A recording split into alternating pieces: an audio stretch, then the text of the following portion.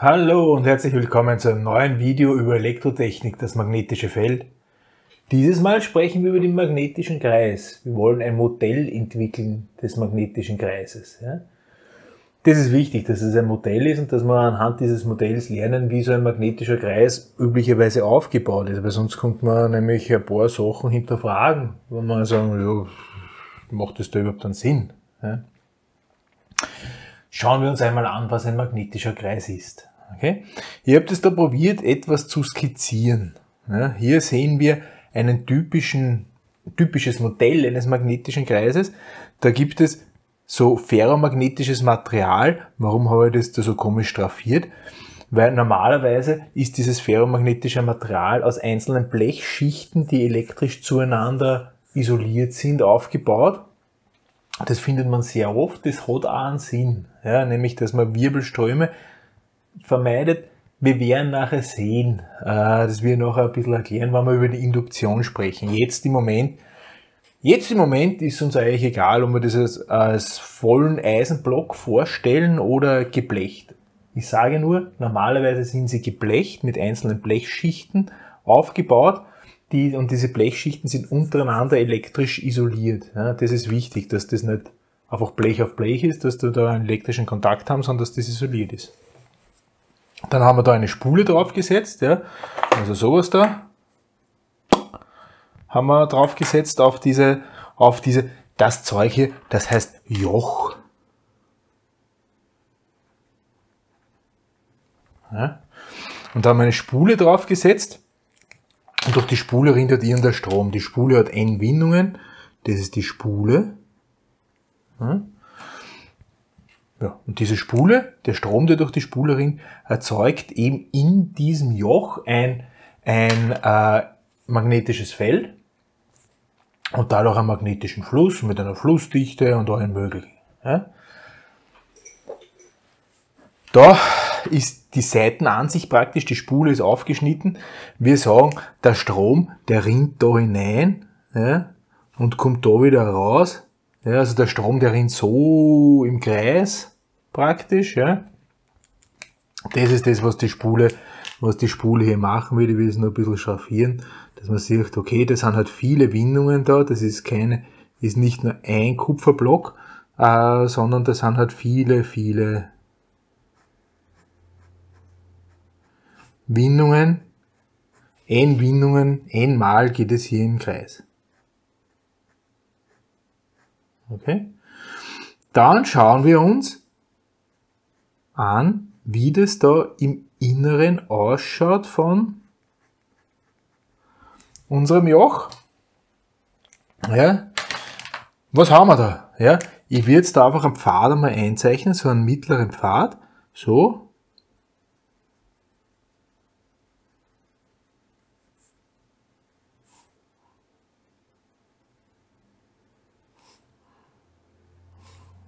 Ja, schön. Wir wollen Folgendes annehmen. Ja innerhalb, innerhalb des, äh, des ferromagnetischen Materials ist immer der gleiche Fluss. Das gilt natürlich nur, wenn der ganze, der ganze, äh, der ganze Fluss da drinnen geführt wird. Ja? Also wenn wir nicht in Sättigung sind, weit, sogar weit vor der Sättigung entfernt, man kein Fluss da außen als Streufluss auftritt. Ja? Wir wollen jetzt einmal so tun, wie wenn das so wäre. Okay? Wir wollen jetzt einmal so tun, wie wenn das so wäre. Ich unterteile das in verschiedene Segmente, meinen magnetischen Kreis. Ja, so. Ja. Dann habe ich da eine Länge L1, dann habe ich da eine Länge L2, dann habe ich da eine Länge L3, dann habe ich da eine Länge L4, dann habe ich da eine Länge L5. Okay? Hier, hier, jetzt zeichne ich mal schwarze, schwarz. Hier habe ich eine Fläche A2, ja. hier habe ich eine Fläche A3, das sind halt verschiedene Querschnittflächen, wären erlaubt, ja, warum nicht. A5, da habe ich A4, da die Luftspaltfläche. Ja. da habe ich A1, sind verschiedene Flächen. Was ich aber an und für sich gesagt habe, ist, dass da überall der gleiche Fluss Phi durchrinnt. Ja? Phi, Phi, der rinnt da überall in diese Richtung, nämlich, ja, also rechtswendig zugeordnet, den Stromfluss, Phi, Phi. Ja. Das ist der magnetische Fluss und der soll konstant sein. Ja. Ich schreibe das da auf. Phi ist gleich konstant. Vernachlässigung des Streuflusses, okay?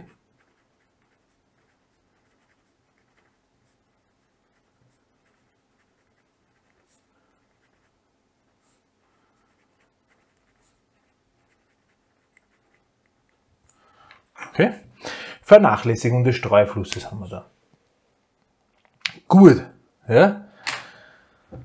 Ah, wie schaut das aus? Wie schaut das aus?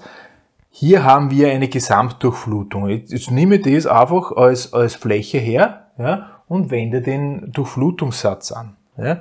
Hier tritt ein Strom durch, und zwar N mal I. Ja, der Strom, der hier durchtritt, das ist N mal I und das ist gleich der Durchflutung Theta. Okay? Und dieses Theta, haben wir ja gesagt, Durchflutung Theta, ist gleich, und zwar die Summe aus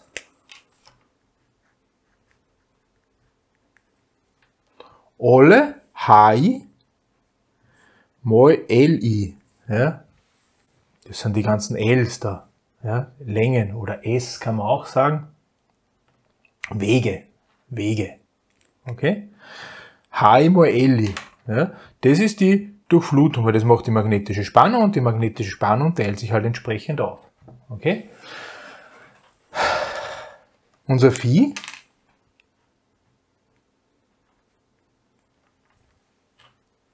ist die magnetische Flussdichte, magnetische Fluss ist die magnetische Flussdichte, die in einem so einen Schenkel herrscht, ja, mal der entsprechenden Fläche, mal AI. Ja. Das heißt, B ist μ mal H. Ja. Ich habe da, das ist weiter gleich, Amü ja, von diesem Bereich, ja, kann ja Luft auch sein, ja, lokales μ, mal der magnetischen Feldstärke HI, ja, mal der Fläche AI. Okay? Das ist, das gilt für jeden Abschnitt I. Ja? 1, 2, 3, 4, 5 in unserem Fall. Gut. Das heißt, wenn ich das umform und das HI da ausdrücken will, ja, das heißt, mein HI ist gleich, da ist mein Phi, und dann dividiere ich durch μi mal ai. Okay.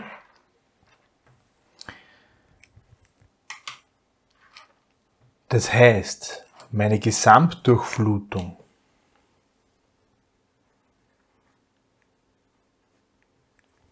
ist gleich, und jetzt setze ich das H hier einfach da ein, gell? Das Phi kann ich herausziehen, Phi ist konstant, mal das Summe aus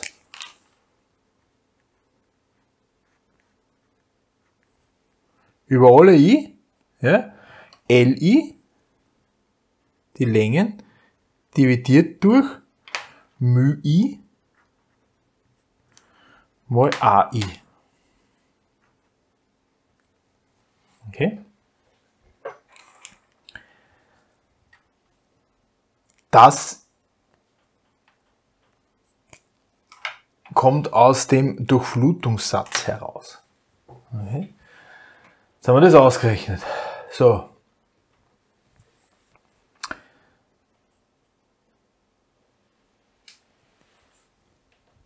Jetzt heißt dieser Ausdruck hier. Ja? Also das, dieses Phi.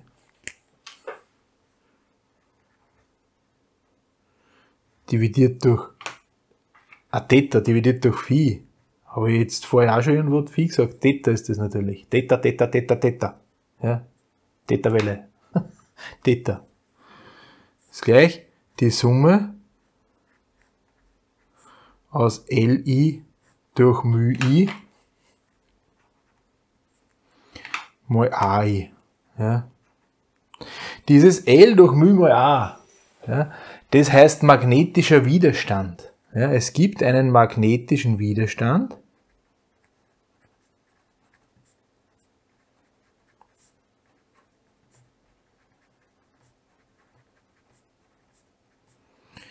Rm und das ist L dividiert durch μ mal A.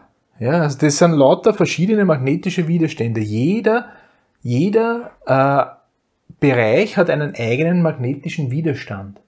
Okay? Erinnern wir uns an den elektrischen Widerstand. Das war ja R ist L dividiert durch Gamma mal A, der Leitwert. Also das μ ist praktisch sowas wie der, der Leitwert der, des Magnetismus.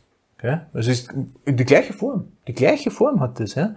Magnetischer Widerstand. Die Einheit ist ein bisschen andere, gell? weil die Einheit ist äh, äh, Ampere dividiert durch Voltsekunde. Das ist die Einheit. Ja? Oder man sagt da 1 durch H. Ja? Das H heißt Henry. Das ist eine Einheit, die werden wir später noch kennenlernen, die Einheit der Induktivität. Ja. Nach einem Joseph Henry ist das benannt. Da werden wir dazu kommen, ja. das kürzt man halt ab so. Ja. Magnetischer Widerstand, das heißt, jeder dieser Teile hat einen anderen magnetischen Widerstand. Bitte beachten wir diese Analogie zum, zur, zur Elektrotechnik. Ja.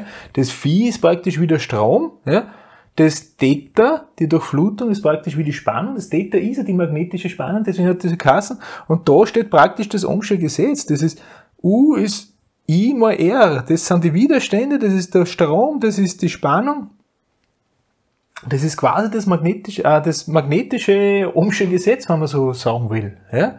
Also, es ist genau die gleiche Form. Ja, sogar der Widerstand berechnet sich sehr ähnlich. Die Länge dividiert durch die durch die Querschnittsfläche und dann habe ich jetzt statt dem Gamma, statt dem spezifischen äh, äh, Leitwert, habe ich hier äh, die Permittivität.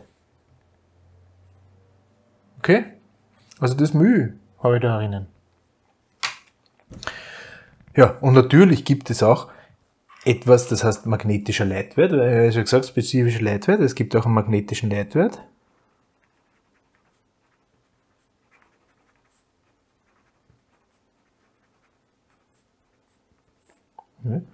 Und die, die Abkürzung ist A, ja. Und das ist halt genau das Gegenteil. Das ist 1 durch Rm, ja. Das ist also Phi dividiert durch Theta, ja.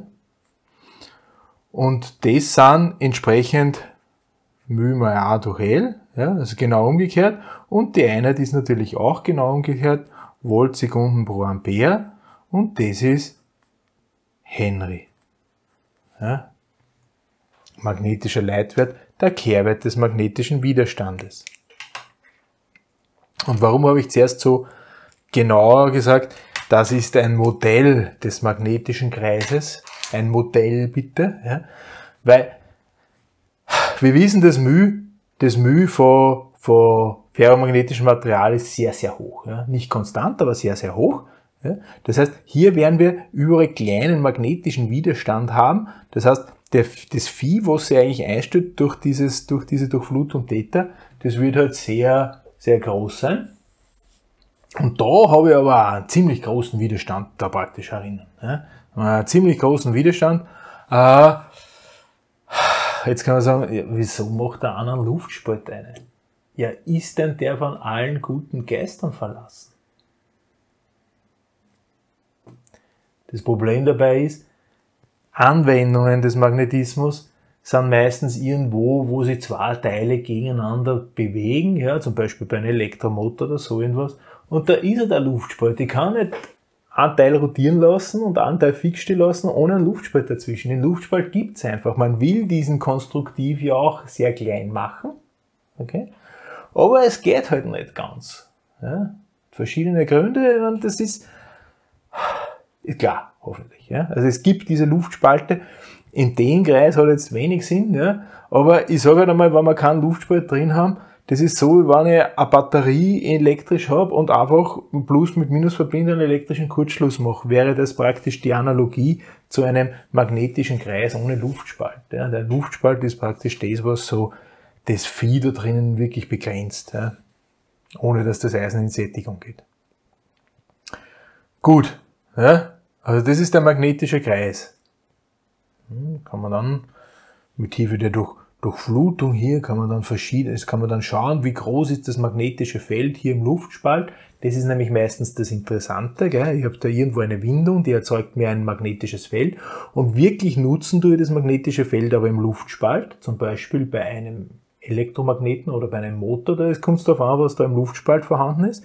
Und da geht halt schon ein bisschen was verloren durch diese unterschiedlichen Widerstände. Das wollte ich herausarbeiten, ja? dass da im Eisen das Eisen auch einen gewissen magnetischen Widerstand hat. Und im Prinzip kann man sich dann so vorstellen wie einen elektrischen Kreis, nur dass halt diesmal magnetische Größen sind.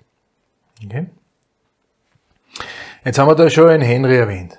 Joseph Henry, Namensgeber der Einheit Henry, Einheit der Induktivität. Induktivität ist eine Mess, eine, eine, wie, wie stark ist eine sogenannte Spule, also sowas da. Spule. Das nächste Mal werden wir uns um Spulen kümmern, um sogenannte Induktivitäten, sagt man auch dazu. Das ist im nächsten Video. Für dieses Mal sage ich herzlichen Dank für die Aufmerksamkeit. Auf Wiedersehen.